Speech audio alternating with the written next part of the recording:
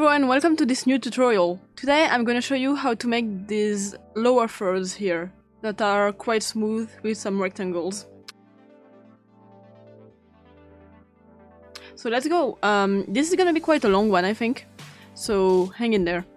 So you need to add title clips to make all of the rectangles and the text. First you're gonna need a big rectangle and a smaller other rectangle. So I'm gonna make it for my channel as usual, you know. I actually I did something interesting. I know now the colors I need to use. And then you're gonna add a second rectangle, um, roughly at the same distance from the side as the height of your first rectangle. Is that clear? I'm not sure it's clear. Um, so basically like this length is roughly the same as this one. I uh, want it to be higher.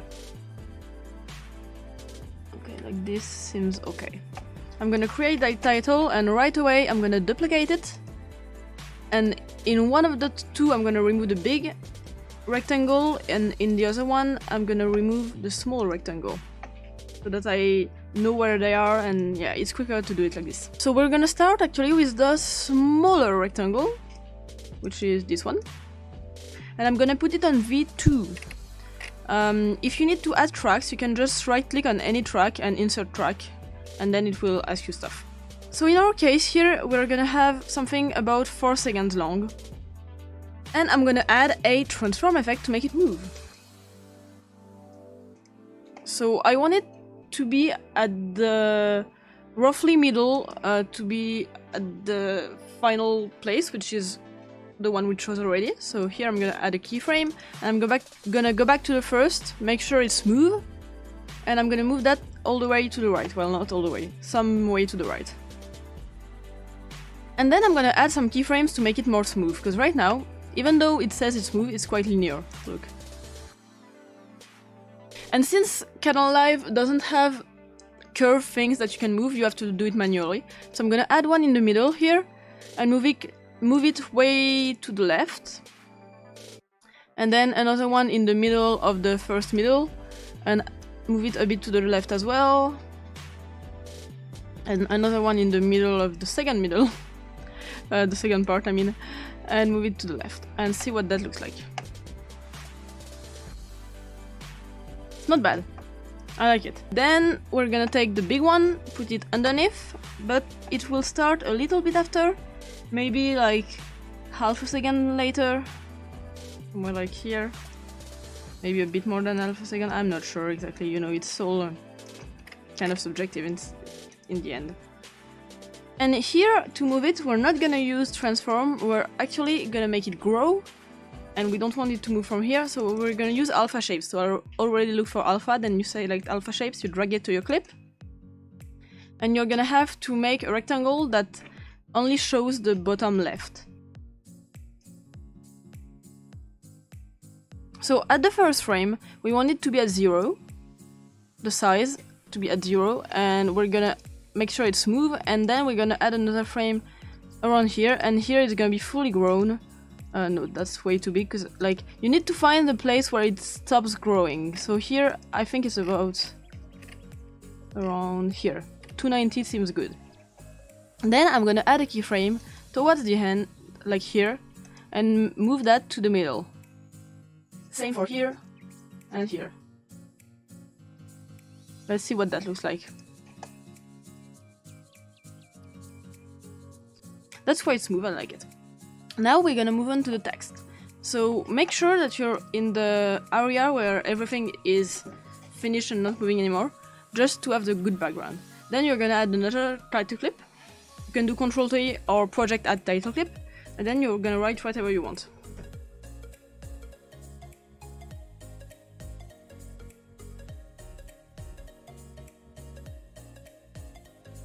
And just make it look pretty.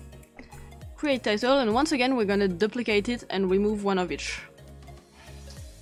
Well, like remove one of each text.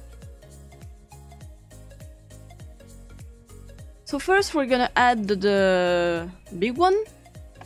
Gonna go here. Um, once more is gonna be a a bit after the first one.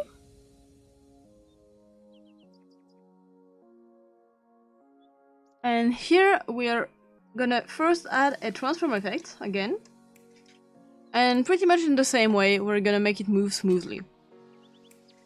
So add some keyframes and then uh, make sure for the first one the text is hidden behind the small bar. Well, not really hidden, but like on the left of the small bar, like here. Here it looks good. Then add a keyframe in the middle and move that to the right. Add a keyframe in the middle of the previous part and move that to the right. And another one here and to the right as well. Let's look at this. So it does look weird because like we're missing a part. So we need to add alpha shapes again, so I'm gonna do this.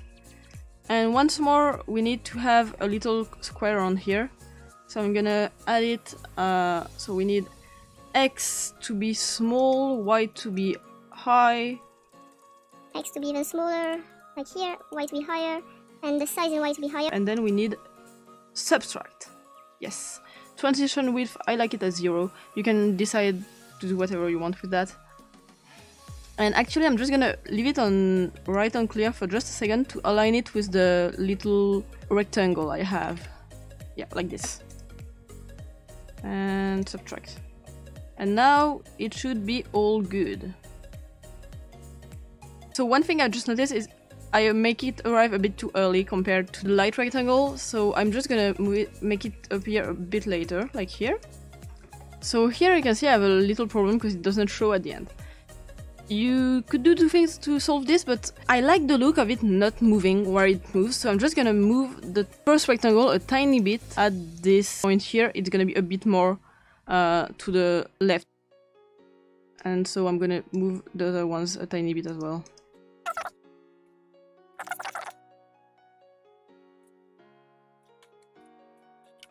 So now I can move that uh, once more, which should normally allow me to have my full word at the end. Yes, perfect. Yeah, so it will need a lot of adjustments, um, but once you've done it, it should be okay. You can reuse it and just change the title clips, you know. So then we have the second title clip. Uh, I'll just drag it here. It will come in like a few frames after the first one.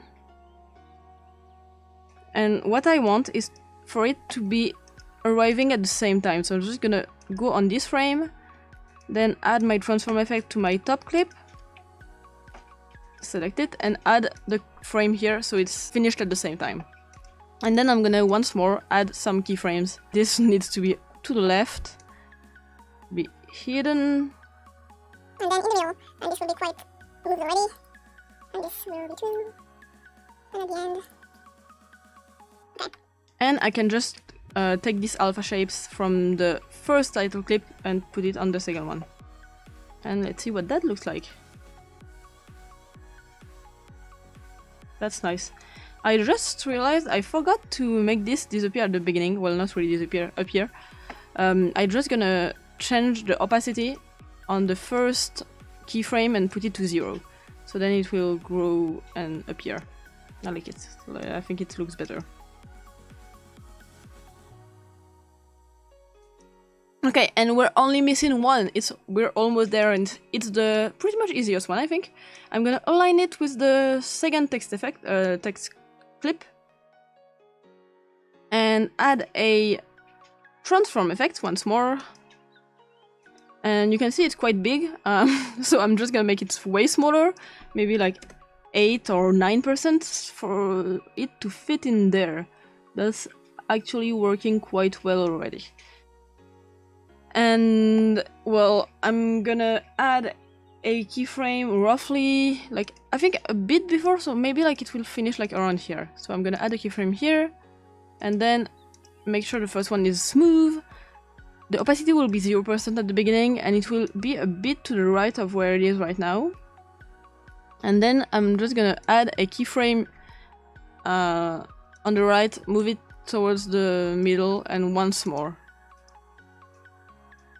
and that should be quite smooth like I want it to be actually I want it to be a bit more to the right at the end uh, to the left it's too close to the rectangle I'm gonna say like 18 yeah.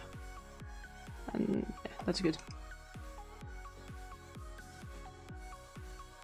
Okay, so this is the appearing phase, and then we need to have it disappear. So you could do something simple like just decrease the opacity of all of them. That would probably be the simplest thing. But if you want to do the exact same thing in the other direction, it's a bit annoying. But what I found to be the best method is to just copy and paste your clip, and then you're gonna reverse all of the keyframes. This is just a bit annoying, but it's not that bad. So you're gonna add one right next to the first one because you can't move the first one. So I'm gonna move that to the end, and then move this one to roughly the same distance as the first one. This one is gonna be around here, this one around here, that will be here, and this one you need to move it um, to be the same as this one here, 290. And then same for the second one, Control C, Control V, and just exchange all of the keyframes. It seems like it takes a long time, it's actually quite fast, and it's way faster than just doing it in the other direction. And then yeah, for the first one, we'll always have a problem.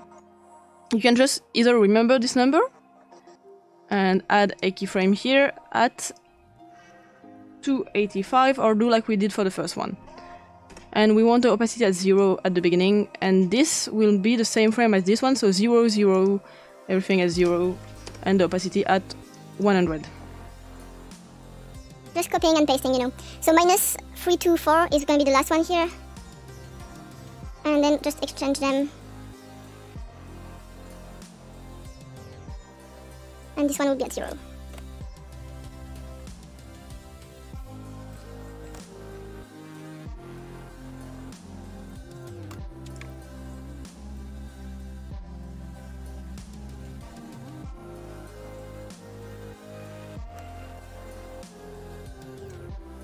Okay, let's hope I didn't mess up anything and see what it looks like.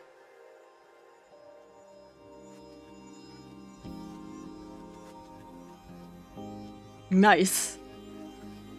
So yeah, I hope you liked it. If you did, please give me a thumbs up, leave a comment, subscribe.